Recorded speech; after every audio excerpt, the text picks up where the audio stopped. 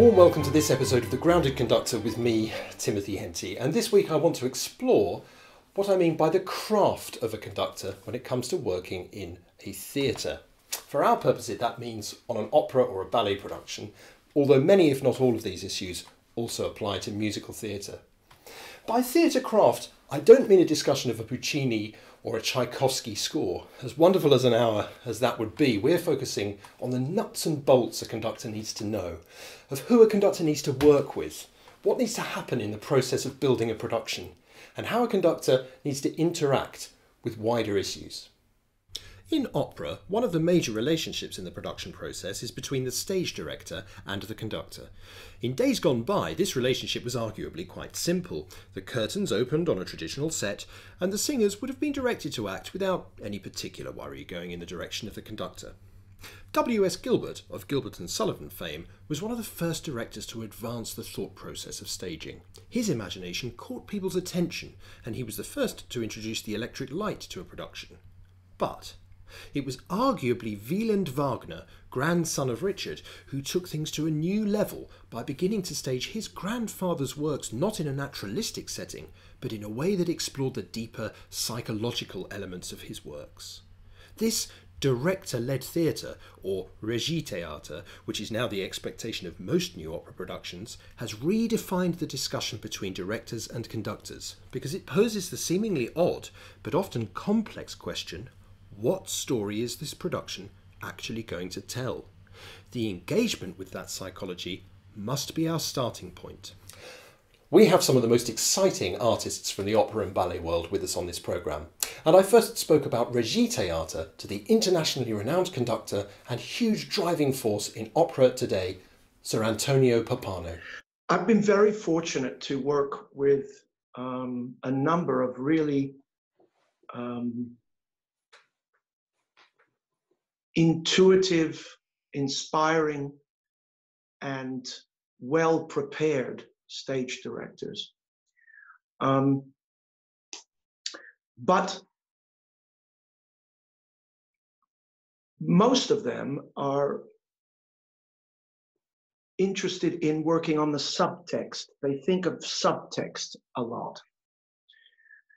So um, you're dealing psychologically with something that's already uh, quite complex, delving into the the characters, um, delving into the motivations of the characters, and often, um, as in the German concept-driven productions, uh, those kinds of directors will try to tell their own story from the story that is the opera.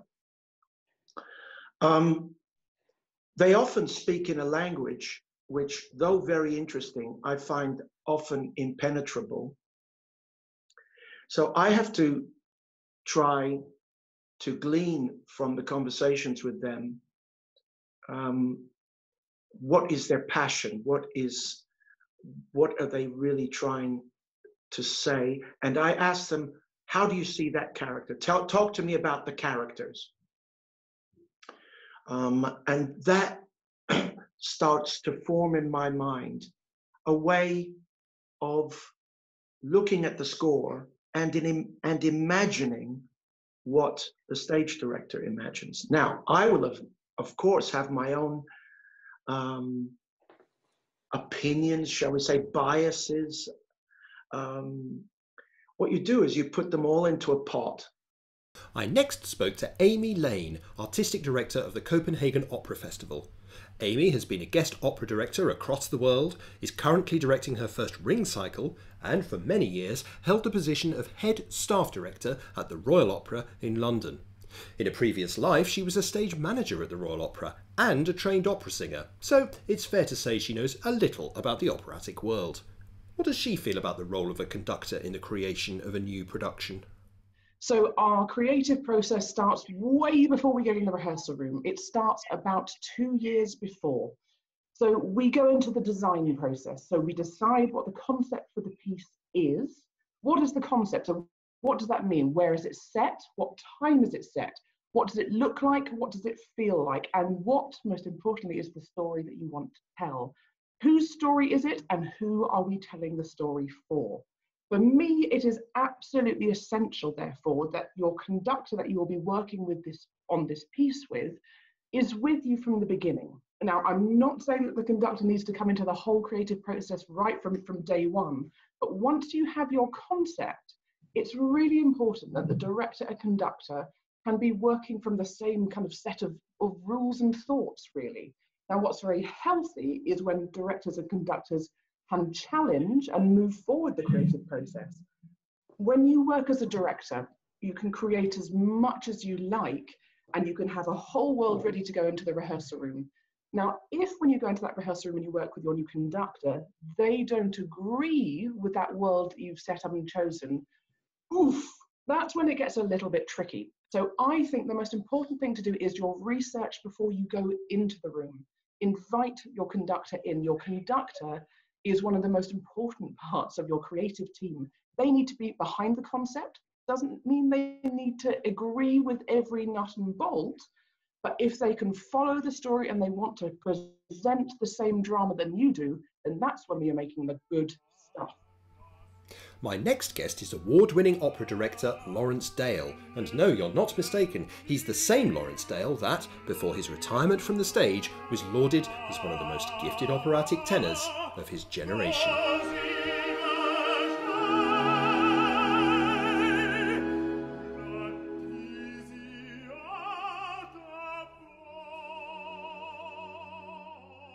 Now a celebrated opera director, his production in Australia of Handel's Agrippina won the Helpmann Award for Best Opera in 2016, and he was also nominated as Best Director.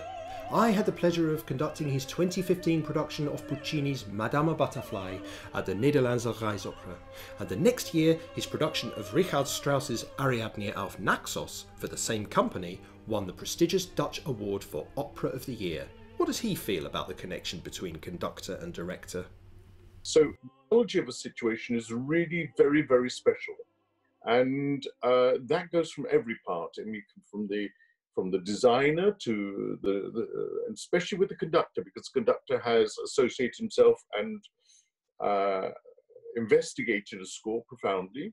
From the other side, the director has too, and often, uh, like in a marriage, it takes a lot of compromise to to to make that happen and you go in and out with not confrontations exactly, but misgivings that somebody has been so persuasive on, on one point and then the conductor says, yes, but I feel this. And the, the director must take a little bit of humble pie and say, well, I see your point. Let's, let's, it's not a, it's not a compromise in the result because the result must be so convincing and therefore it's it's a, a, persuasion to get to understand from the other point of view and be committed to it. And that's the difficulty, of course, because it has to be committed. But is the creative process all in the end just between the director and the conductor?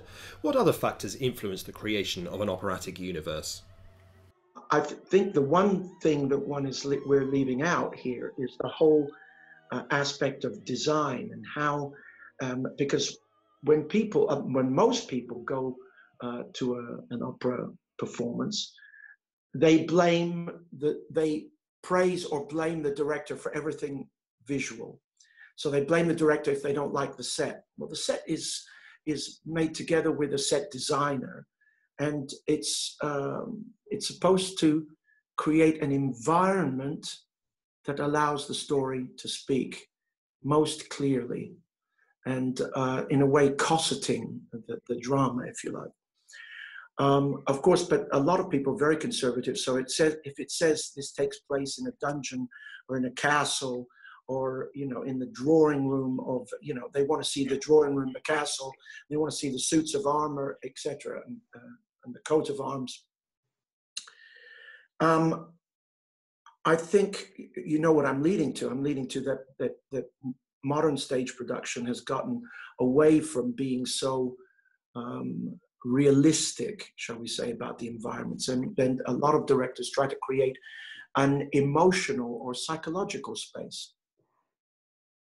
Now, I've got music in front of me that's written 100, uh, 200 years ago, often.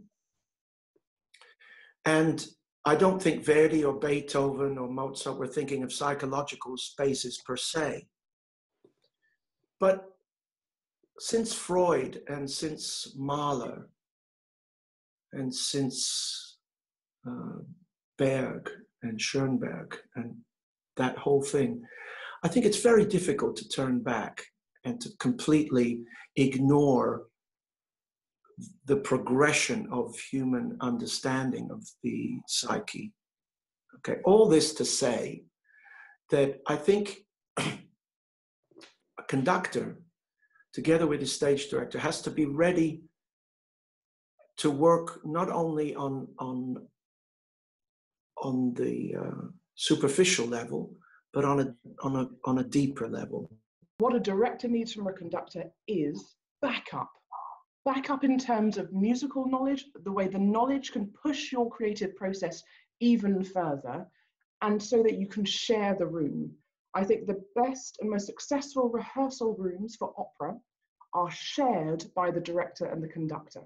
It's not a question of the director getting up and saying, now this is my room. It's our room. What is opera? Opera is music and it is drama, and it is the wonderful collision of these two art forms, the collision in the middle. That is what opera is. Just listen. Just listen to what they've got to say and stop saying, I think it would be better if it were, and say, listen to what they say concentrate on what they've got to say. And even if you don't understand it, I remember with Joseph Van Dam, he was telling me something, I really didn't understand it. But about 10 years later, I, I suddenly go, ah, that's what he meant. Now I get it. So give yourself the time to reflect on what people say. Don't dismiss it. Be, be humble. The beauty of working with a really good stage director is that inevitably, inevitably, you if they are musical, they will start almost, I don't want to say conducting, but they'll start um, asking for certain things or, or, or you know, uh, trying to influence the, the flow of the music. And I, because I'm so interested in the word, and that's the key thing here, the word and the beauty of the word, its significance and its sound of the word, that I will start stage directing. And you get this kind of cross pollination, which is a really beautiful, beautiful thing. And it also disarms the soloists because they see that there's an incredible symbiosis between the partners, between the conductor and the stage director. In terms of the person who will ultimately present your show, when the shows go up, it's not the director standing on the podium it is the conductor. So you must have intelligent, honest, and fair discussion, and listening is a major part of a director's job too. So to listen why the score is telling the conductor something different. What have you missed? And that's when you get the interesting stuff too. That's when your ideas can evolve.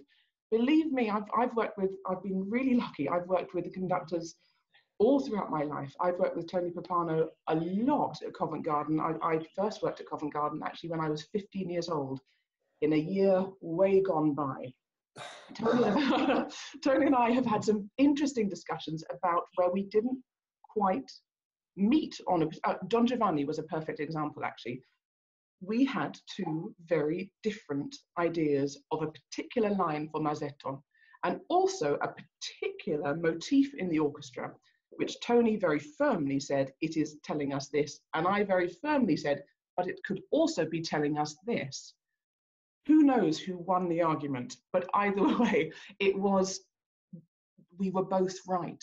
But in the end, you need to have that discussion to work out which is most valid for your concept, for the artists, for the conductor, and for the whole piece. Then you're making the good stuff. Mm-hmm. So, as with any leadership role, being a successful opera conductor means being a keen diplomat and maintaining an objective sense of the room and the psychology of the people within. I will always have an idea of how to how to fix something that I I don't believe is working or I don't believe is correct. I don't just say it's you know it's not working. I mean I, I try to you know somehow make make light of the situation say or or depend on on the or maybe I just take the director aside and whisper into his ear, and we, we talk about it, you know, and, and, we look each other in the eyes, you know. It depends on your relationship with the stage director. We're human beings. It's not, and you know, yes, there are stories of people, you know, almost coming to blows about these kind of things, mm-hmm. but not with me, really. I mean, you, you you're people, and sometimes there's going to be maybe feelings are going to get hurt because a person really believes in a certain idea. But if they're made to see that something is not working, or if you're made to see that what you're doing, if you could just change one aspect of what you're doing, could really help the flow of something, then you know you you give in. It's, it's, so I think it's it's using your I think charisma, understanding, respect above all is the important thing. So far, we've been talking about the creative process in new productions, but the staple diet of an opera company is surely its revivals, where the audience's favourite productions are brought back with new casts and new conductors. What effect does that have on those involved? Amy Lane. So, reviving is a strange word already. So, a revival is a, a it's bringing a production back to life often with a completely new cast, with a often with a revival director who ideally has, of course, worked on the production from the beginning, um, but not the original director. So the original director who created the whole concept is often not there because they're making new work. So they have their very, very well trusted associate directors or uh, revival directors to come and look after the piece for them.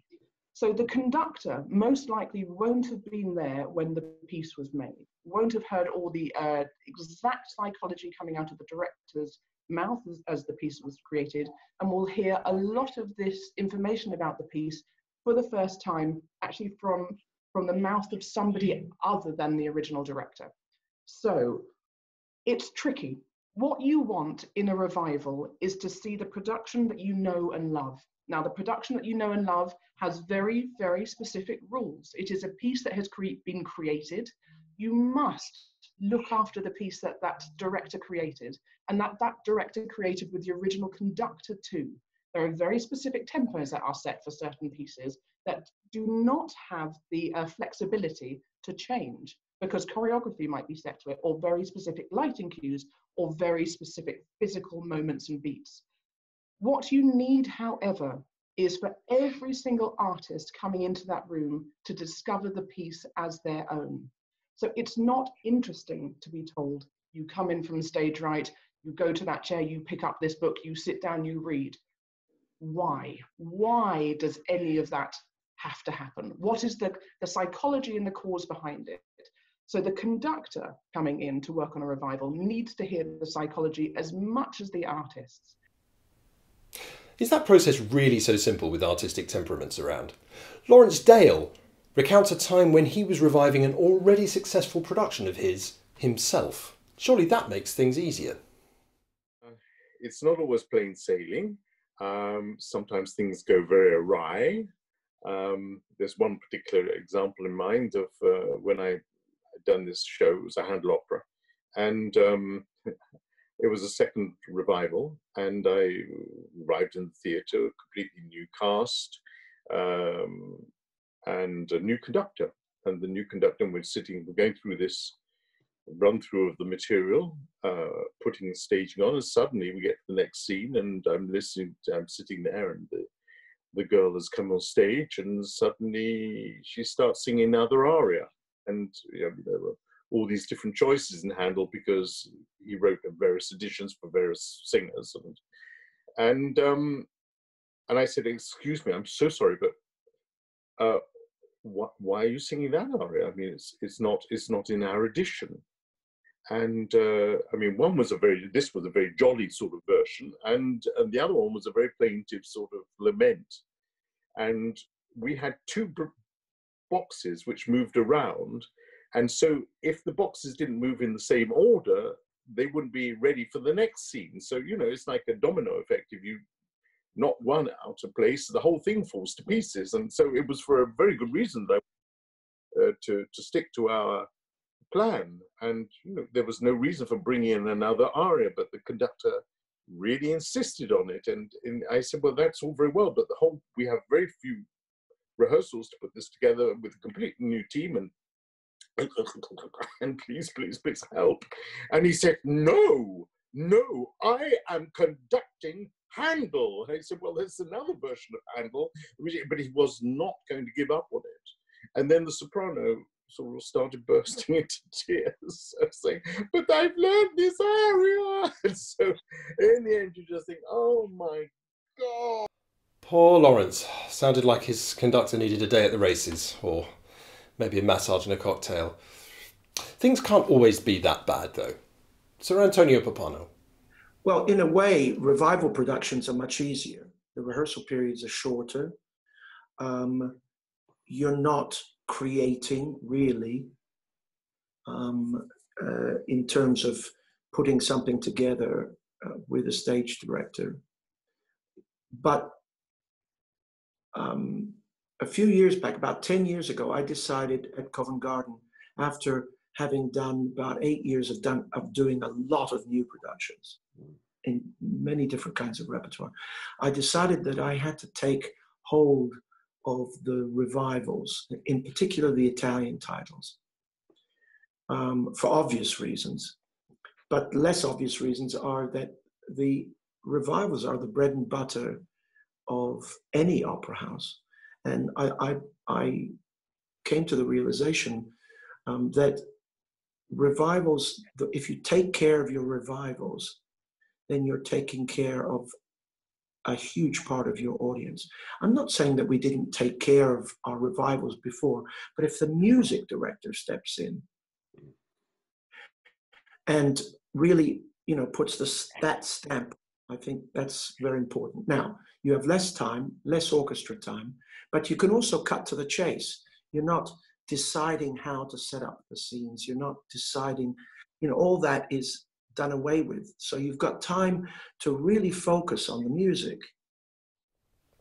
Well, that's one side of the opera house, full of loud voices on and off the stage and plenty of drama. No less important is the other side of the house, where exceptional dancers are quieter on stage but considerably more athletic. I spoke to Benjamin Pope, internationally sought after ballet conductor and former music director of the Royal Ballet of Flanders, and also to Christopher Hampson, a renowned choreographer, but also the artistic director and CEO of Scottish Ballet. You're putting on a new production, you're uh, inventing uh, the steps as you go, but also creating a universe for us to, uh, to, to inhabit. And the music, of course, is a massive part of that. What do you need from the conductor at that point? Um, one word, and that's collaboration. Um, you know, creating a new work is highly collaborative from everyone involved um, the choreographer, the dancers, the conductor, the stage manager, the designer. Um, everyone should be serving the work, um, whatever that may be. So recently, I created a new production of The Snow Queen.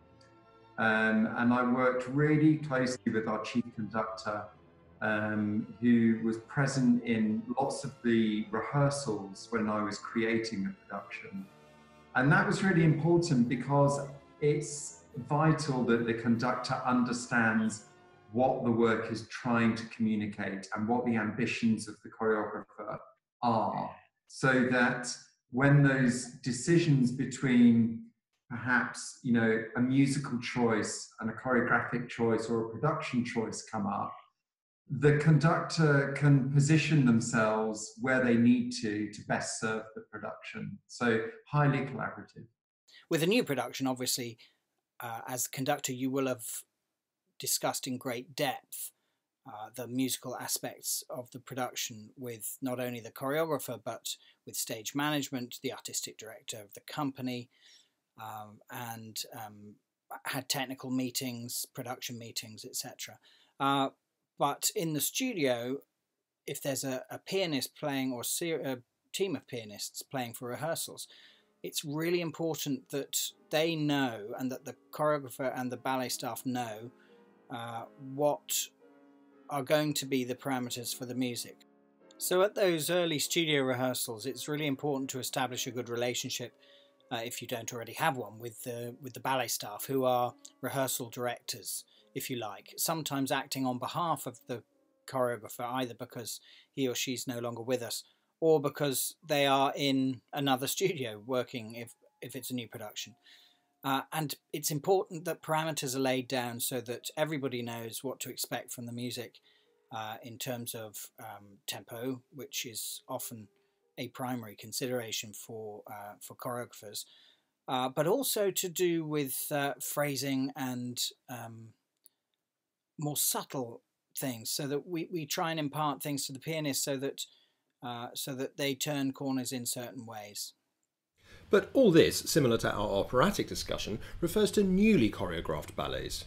The jewels in the crown of a classical ballet company, however, are arguably found in their core repertoire pieces, famous scores with time honoured choreography.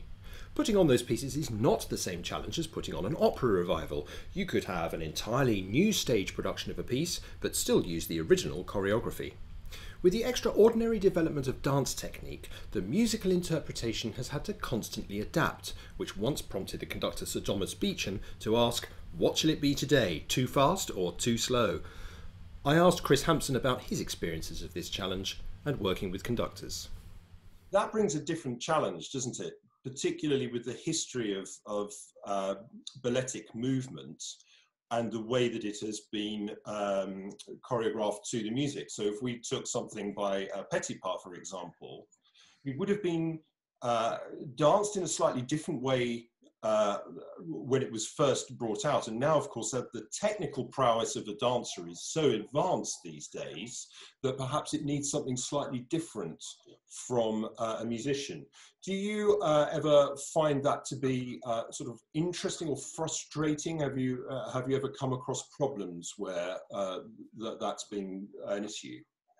Yes, loads. Um, and I quite like this challenge um, when it does come up because it forces us within the art form to really look at um, what we're trying to communicate. So take the, you know, the Petipa Tchaikovsky ballets, Debussy, Swan Lake and Nutcracker, you know, any amount of different versions in the world. Um, so when we come to rehearse them, if we take something like Nutcracker, a, tradi- a traditional version of Nutcracker, um, you know, it's going to be a marriage between what those, say, principal dancers are trying to create in the pas de deux, what um, the conductors wanting to create from the pit, and where does that marry? And I see it as my role as you know a rehearsal director or repetitor or whatever my role is in that situation, and to be a mediator um, and I love coming back to the idea of what's trying to be communicated by this work rather than what's the step the dancer trying to do. Um, because often in re-looking at that step, the dancer might find something new in it rather than dogmatically just asking a conductor to fit in with what's being prescribed rhythmically from the technique. Um, but vice versa, you can often find that happen another way too. The dance was a section partic particularly brisk. Um, that might actually open out a different sound for the conductor too. But I think the health of that dialogue between conductor, dancer, and the person taking the rehearsal is absolutely vital. I've seen, as I'm sure you have, Tim, rows break out. I've seen terrible things being said between people all over, you know, what is essentially a very small issue. So, with the older, more traditional ballets, the classics, if you like, uh, so we're talking the, the Tchaikovsky ballets, uh, Don Q, uh, that sort of thing. Um, yeah, the steps have been established for a long time, and athleticism has uh, increased, shall we say, in terms of technique on stage. So lifts are higher. Uh, the dancers can physically do things uh, bigger, really, uh, and and often that means that things take more time. Um, so as a result, the music has got slower.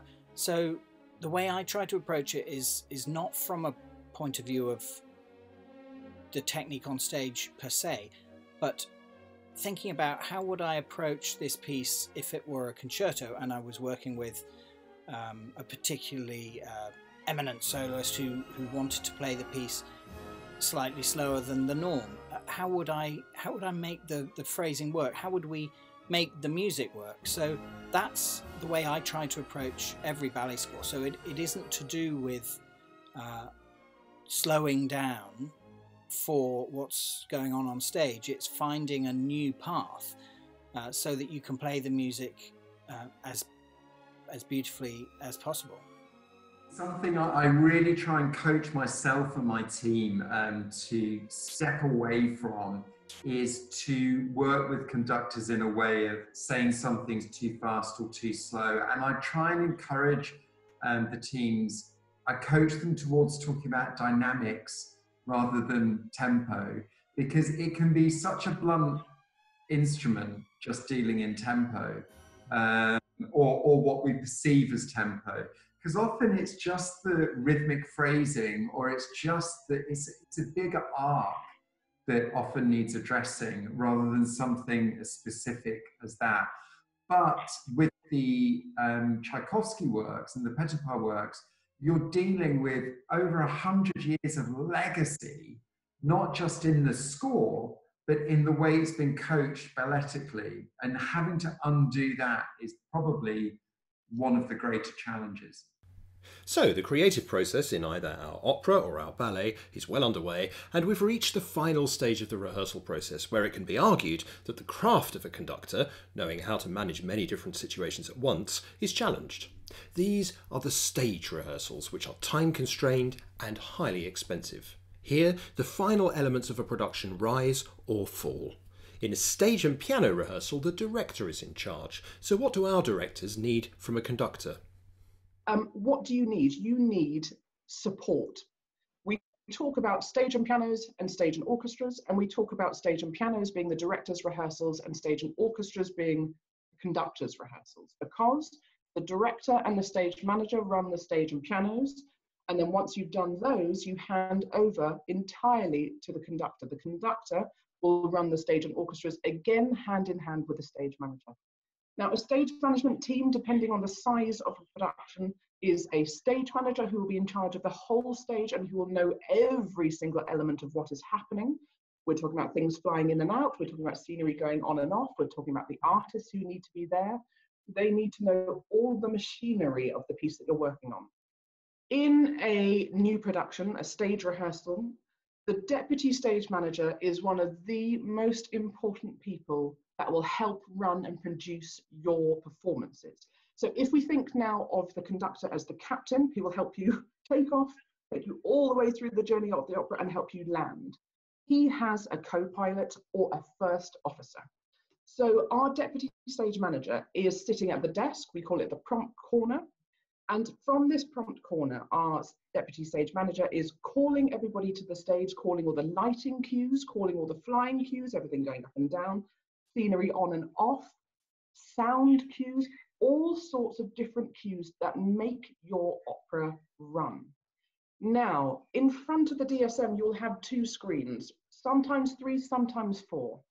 Uh, one of the screens will be a picture of the stage. They can have a clear view of what's going on. The other, the most essential screen that you can have also as a DSM, is a close up of the conductor.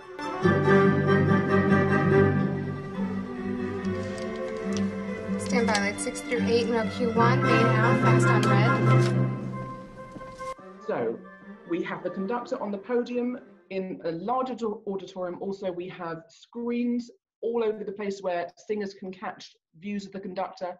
Why is this? It's because the DSMs take a lot of cues from the conductor. So the moment the conductor gets ready to start the piece, the DSM has stood everybody by and they're waiting to say the all important go.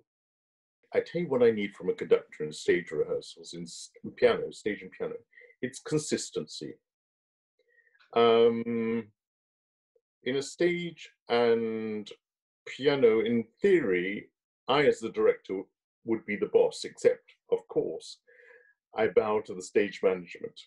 Mm. Stage is the boss in every moment. So we can all eat humble pie on that one too. because there's so much stopping and starting, it's a great opportunity for the conductor through his assistants often to give notes to while the singers are waiting for the stage director to finish his, his, his stuff on the stage with maybe with the chorus or something you can go to the singers remind them of that bit that bit. So i think those are rehearsals that can be used very cleverly. The one important thing that I, I didn't mention before about rehearsing is that it is very important that when you stop in a piano rehearsal, don't just go and do something else. Don't turn off. Don't start talking to your colleagues or something. Um, listen to what the stage director is saying. Go close. Listen, and I, I tell that to the pianists who are also playing. Listen to what's going on, um, because that's incredibly important. If you miss that, you're you're losing a tremendous amount. And I think this is important also when you get to the stage. because certain decisions will be made. If you don't if if you don't hear what's going on, you'll be surprised all of a sudden you'll give a cue over there and the people are coming in over there. I know it sounds silly, but you'll be surprised how often it happens.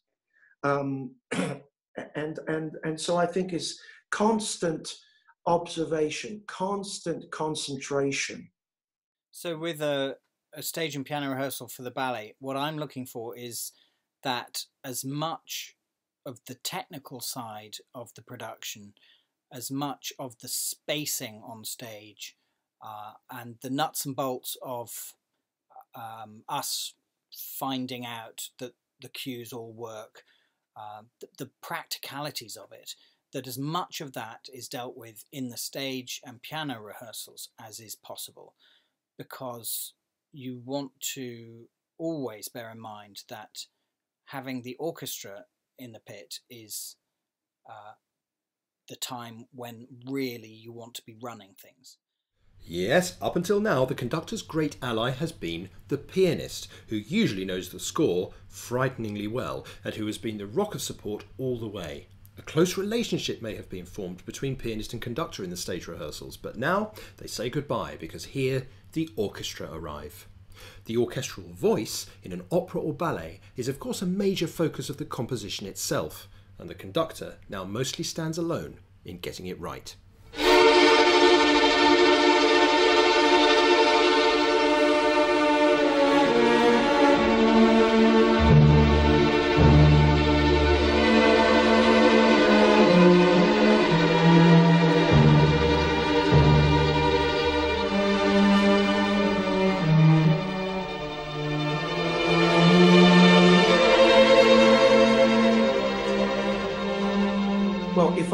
Through a, a decent piano rehearsal period.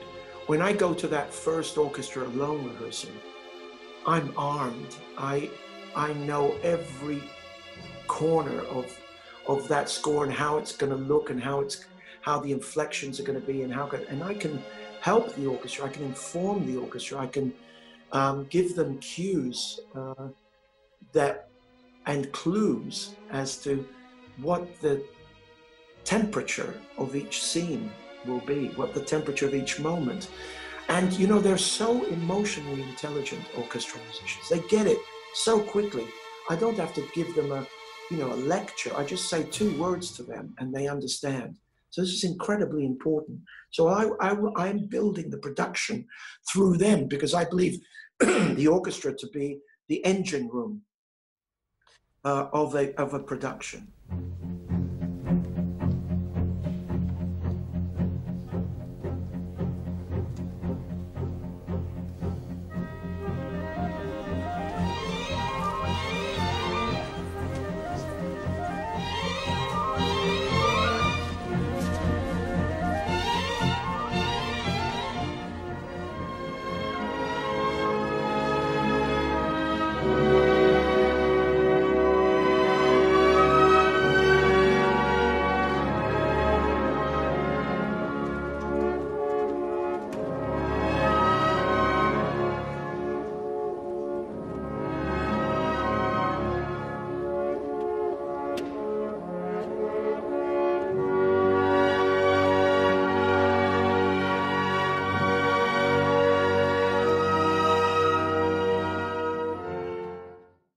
So it's important to remember that from an orchestra's point of view in a ballet production, they can't hear what's going on on stage in the same way they can in an opera.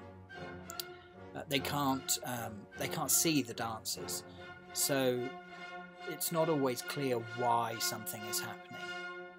And so, trying to explain um, what's going on on stage can be useful, particularly for certain key moments. But getting too specific about uh, why something is a certain speed because of a technical uh, technical concern or whatever is, in my opinion, not the way to go.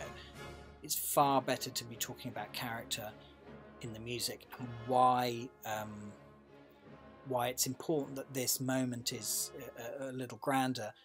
Not talking about because there's some something happening on stage at this point that is uh, technically uh, impressive, but think about it in terms of the character of the music and how we want the music to sound. So, stage and orchestras, the pressure is on. You have maybe two to four stage and orchestras before you get to the general, which is the last rehearsal where kind of all bets are off. It's called a general rehearsal, and yet we often have invited audiences. So, how can a conductor help his orchestral rehearsal? I think knowledge of the piece that you are conducting is an obvious statement to make, but what does that mean? That means knowing, for example, if you have to send a chorus off, there's an exit where they all go running off, and 35 seconds later they all come running back on in a different costume. That is about 80 people changing costumes in 35 seconds in the wings. Would it be a good point to stop halfway through that costume change in the stage and orchestra? No, it wouldn't always let things like that happen and then stop because then everybody is rehearsing at the same time at the same pace and there is so much to be said for conductors who are aware of costume of set of lighting of technical requirements of flying requirements of uh, scene change requirements. Now it is not their job necessarily to know all of that the stage manager knows all of that. The stage manager will advise the conductor on where would a, where would be a good point to stop. Where do we want to try and get to? But how marvelous it is when conductors have already thought about that, have already got a little extra in the, in their bag in terms of what would be useful. When we get to the stage and orchestra rehearsals, those rehearsals are mine. I guide them. I decide what I want to do and what I want to achieve. Now, usually, I go for a run through. They're often quite messy. Mm-hmm. Um, we might have had a couple of Sitzproben. Those are those rehearsals where the singers, there's no staging, but the singers, usually seated, sit uh, in front of the orchestra and sing along with, the orchestra. and it's a musical coming together, meeting of the minds.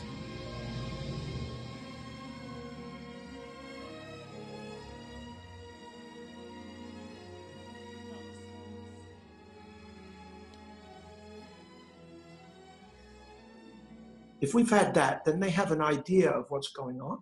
But when we get to the stage and orchestras, you get all of a sudden you get the problems of distance. The you know, can they hear the orchestra? Can they see me in the positions there are? All those kinds of things. And are they acting or are they just staring at me?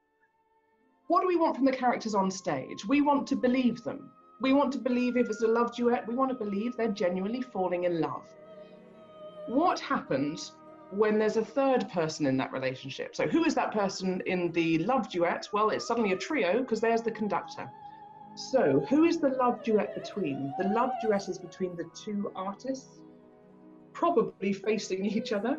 It's between the orchestra, also, who will be adding maybe a whole other texture to a love duet. It is also about the conductor. So, suddenly a duet becomes pretty crowded. What we ultimately want is the belief of the storytelling between these two people singing a love duet. So, if, for example, I'm going to imagine you, I'm, I'm singing this love duet to you, and oh my goodness, I'm in love, I'm in love, I'm in love, I'm in love, I'm in love, I'm in it. What are you looking at? Who are you looking at? If that person is constantly doing that to the conductor, do we believe it? It, I don't know whether we do. So brilliant tricks. There's a marvelous thing called peripheral vision, I'm very, very tough on singers. You know, don't look at me, you know. Don't look at me, don't look at me. Looking at the orchestra, wondering where the hell they are. But I need them to look at me at key points, you know. it's, It's amazing. Yeah. I- It- it- it's just brilliant. don't look at me, you know. And he means it. He will follow you. He will push you. He will lead you. He will make sure that everything is going at the same time. That is the trust that you need from a conductor to say, it's okay. Don't come and stand downstage center and glue yourself to me. I'm not in the love duet. I'm helping the love duet. I, I drive people crazy that way. But those rehearsals, a run through, as messy as it can be, because it's the first time you go through it, will tell you so much. You'll know then how to rehearse what needs work, what is working by itself, what is absolutely not working. And you'll also get a sense of balance. You'll have somebody from your music staff uh, sitting in the back of the house who will give you notes about, you know, you're, you're completely drowning out here. We don't hear those instruments here. We don't, you know, all that kind of stuff. And so it's a huge jumble of information, but at least you have the information. It's the ability to um, swim at pace with the time frame that is allotted and, and you've alluded to the fact that you know budgets are very tight and we're dealing with large amounts of people often you know 40 to 60 people on stage 60 plus people in the pit plus all the technical support plus all the creatives sitting out front that's a you know that's a lot of people we're trying to manage and the ability to be able to progress that production week or production days in some cases at a pace that's still um, delivering high artistic value is a real balancing act. So when you get to the general rehearsal, hopefully people will sing. You usually have an audience. It's a chance to get a feeling of how the production is going to work in front of an audience. There's still something superficial about it. It's not real. People are not getting paid. But it's a good preparation. Um, usually, a dress rehearsal audience is very friendly. Am I still creating at a general rehearsal? Well, it's the first time you have an audience. It's the first time you see what maybe what singers are really going to do. You know? But I have never, ever not been surprised at a first night. I'm, no matter how much, how many notes I give after the general rehearsal, how many, um, uh, how much thinking I've done, how much analyzing in my mind. Um, the first night will always be full of chock full of surprises. Now, back in 2018, I was lucky enough to conduct a new production of Iolanthe by Gilbert and Sullivan for English National Opera at the London Coliseum. But it wasn't quite the same experience described by our guests. I got to work with Cal McChrystal, famed for his comedy direction. His previous credits had included One Man, Two Guvnors, Paddington 2, he's even in that one, and the much loved Gifford's Circus. This was only his second opera production, but he had a very clear vision of what he wanted to bring into the house. I came armed with thoughts of impenetrable psychology, but Cal brought his own skills to the table. Two years on, I caught up with Cal to reminisce over our experiences of putting on an opera together. And I thought it might be quite nice for us to chat about our process because, of course, when I first met you, we didn't know each other at all, did we? No, no. I, I first met you in um, in the foyer of the Coliseum, I think. Um, we're with uh, the the producer um, Terry Jane, and um, you said um, I'm a big fan of Mighty Boosh, and I said you got the job. Yeah. It was as simple as that.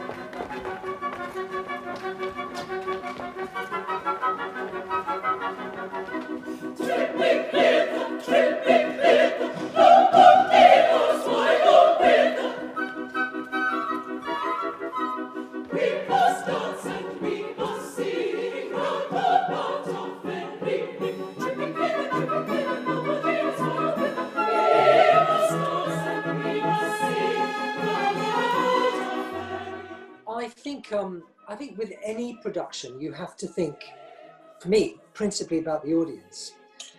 And I knew that a, a big proportion of the audience that would come to see Iolanthe um, would be people who loved the piece and who knew the piece probably better than I did.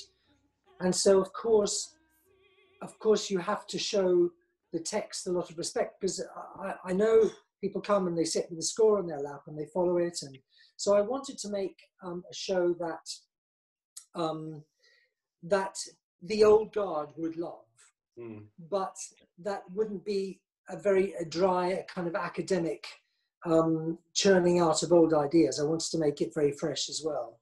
And so we kind of cheekily wrote extra gags, but hopefully slightly in a Gilbertian style, but Mm. just to get kind of more laughs per minute in there. Mm. Um, but no, I mean, obviously we, we respected the, the, the piece because I'm, I'm not, um, you know, I'm not uh, an expert at, uh, at Sullivan at all. And um, I'd done a bit at school. And I remember saying to you before, long before we started rehearsals, can I come over to your place and can we play and sing through the whole thing yeah. and stop every time I've got a question or stop every time you've got uh, some juicy bit of information to impart. And we did that over several sessions and it helped me so much because I was nervous about going into an environment where everybody possibly knew more than I did. And yet I was supposed to be the one holding the floor half the time. Um, and you were able to tell me, ah, you know, this is a this is a Mendelssohn reference and this is this. So so by the time we came to start rehearsals, I felt I had some kind of a grip on the piece, uh, which I wouldn't have had without your your uh, you know patience and, and pedagogy. So thank you for that. Well, it was vice versa though as well, because through those sessions, you know, we started to get an idea of what universe that was going to be, and I sort of felt as if I was, yeah, I wasn't going to be disenfranchised by this process at all. I was going to be, yeah, we were going to be a team and uh, uh, and be involved with each other's ideas on something, and I think that's one of the things that I found so magical about the whole process was this great rapport that we had, and that was really set up by us really talking in advance, wasn't it, about uh, the ideas that you had and the way that they were developing. I mean, particularly there was one uh, um, duet which involved Yes. quite a lot of laughs, uh, and we've we've spoken about that in the press before, haven't we? But maybe we could chat about Mm. it now because that took quite a bit of doing, didn't it? Well, I remember saying to you, and this, um, and we have spoken about it before because it's actually a very good example of how we worked. And I remember saying, look, you know, this duet is beautiful, but it's a bit of a standard kitsch type duet with the girl sitting on a tuffet, the guy on one knee, and they're singing I Love You to each other. Mm. And I said, I do want to animate it. There's nothing we can do with the actual music to make it funnier. There's nothing we can do with the uh, with the lyrics to make it funnier. So I want to put lots of background action in. So I said to you, which are the bits of this piece of music that you definitely don't want to hear laughter in? And you went through it and said, well, this is a this is a cappella. We want to hear that. This is a beautiful harmony. This sustained note, etc., etc. So I basically took all the bits in between and put the laughs there. Yes.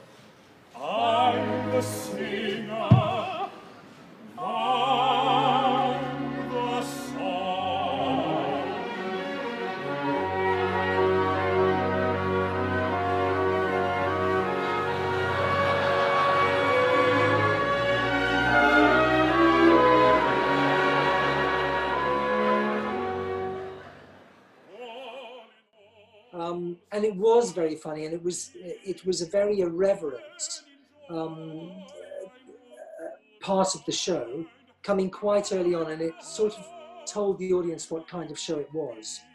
If you can involve everybody above, behind, and underneath the stage in the same vision, um, you know you're going to make a lot more progress a lot more quickly. Do you did you feel the same when we were working together that we needed we, we had a lot of technical elements to bring together in Iolanthe, didn't we? Yes, we did, and um, you and I would, uh, uh, you know, I remember conferring with you with with various different ideas that I was having in the rehearsal room, and I was I, I hope I was careful to always ask if that was all right by you. And I remember saying to you, um, in fact, uh, after we opened, I just said, Thank you for being so flexible. And you said to me, Thank you for not asking for anything ridiculous. Oh, I yeah. mean, although I did, although I did ask for lots of ridiculous things, but they weren't things that would that were that were were spoiling the piece at all. But you gave such a very clear vision of what you wanted out of that production that um, you know we all felt you know, as if you were at the helm of, of a universe that you'd really sort of inhabited and loved for quite a long time. So I don't think that th- there was anything ridiculous about it at all, really. And what you were asking, you asked for in such a well thought out and intelligent way. Um, I saw that um, model and we realized the, the world that you had created along with the designer, you know, the whole room was just really like in awe. Well, I think, um, you know, I think that a lot of opera designers seem to feel that they have to go really so far in the other direction from what's in the piece to make to, to, to make something original. Mm. And I think you should never set out to make anything original. You should just set out to make something good, and then hopefully it will be original. And I fought very hard um, to not with the designer Paul Brown, uh, but with with with the people at the ENO in order to do a traditional looking production. Mm. Because the way my comedy works, you have to set the rules out, say this is the environment, so people think they understand what they're in, and then you twist everything, and that's where you get the laughs. Cal McChrystal there on bringing his comedy into the world of opera companies. Thank you so much for joining me, Timothy Henty, on The Grounded Conductor. In conclusion, I leave you with the final thoughts from Laurence Dale and Sir Antonio Pappano on what a good opera conductor needs to do. I think an opera conductor has to live the words as much as the music. Um, I think having some training in the languages doesn't hurt. I know myself, I mean, I speak Italian, French, German, English, but those that's really helpful, you know, for opera. You need to deal with people's uh, weaknesses. You need to deal with their strengths as well.